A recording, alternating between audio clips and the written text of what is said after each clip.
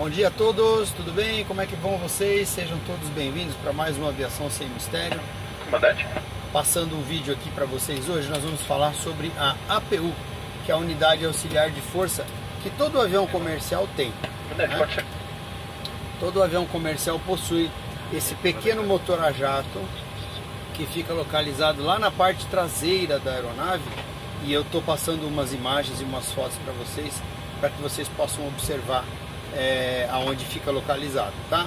Para que, que serve a APU? A Auxiliary Power Unit ou a unidade auxiliar de força serve para justamente fornecer para o avião, enquanto no solo ou em voo, a força elétrica para os geradores, né? Ele tem um gerador que fornece energia elétrica, o mesmo gerador que tem nos motores do avião tem lá no APU também. E também tem a possibilidade de fornecer para nós energia pneumática, que é um ar comprimido de altíssima pressão, que vai tocar o sistema de ar condicionado no solo para deixar a cabine geladinha, geladinha, bem gostosa para vocês enquanto os motores não são ligados, tá?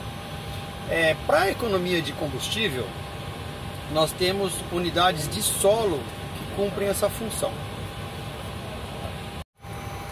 Então, como eu ia dizendo para vocês, o APU ele vai nos suprir com essa eletricidade e com energia pneumática também, para que possamos utilizar os sistemas elétricos e de ar condicionado do avião no chão.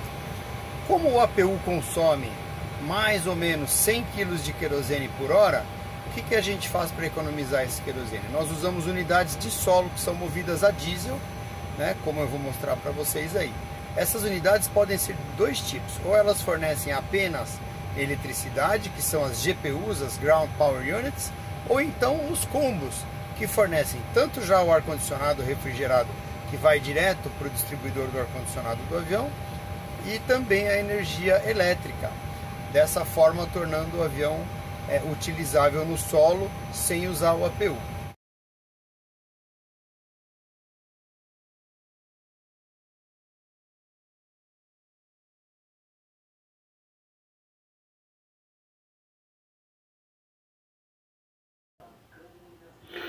Aqui eu posso mostrar para vocês sem o áudio original, porque o barulho seria tão grande, pessoal, desse motor aí funcionando, que não dá para ouvir nada. Então é essa unidade auxiliar de força de terra ou ground power unit que vai fornecer eletricidade para o avião enquanto o avião estiver no solo com o APU desligado.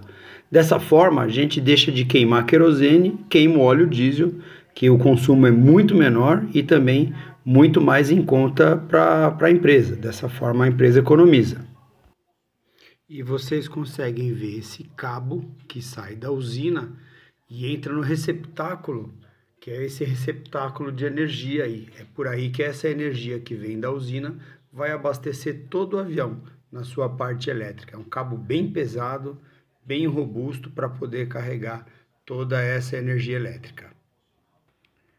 Pessoal, tem um outro equipamento de solo, que é a Low Pressure Unit, que ela é usada para dar partida nos motores, né?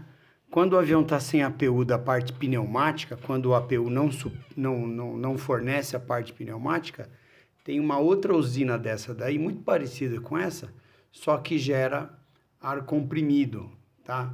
E é o ar comprimido para girar os motores para dar partida.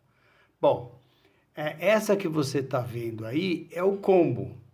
Essa unidade, você vê que ela é bem maior, né? E ela vai fornecer aí o ar-condicionado e a eletricidade para o avião.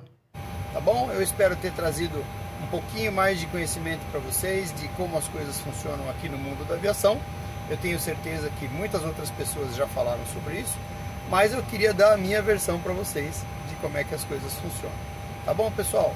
Quero aqui agradecer a todos. Vou pedir para vocês deixarem o like de vocês, também se inscreverem no canal e compartilhar os nossos vídeos para que o YouTube continue recomendando os vídeos e o canal Aviação Sem Mistério continue crescendo para que eu possa trazer informação para vocês. Beleza? Até o próximo vídeo. Tchau!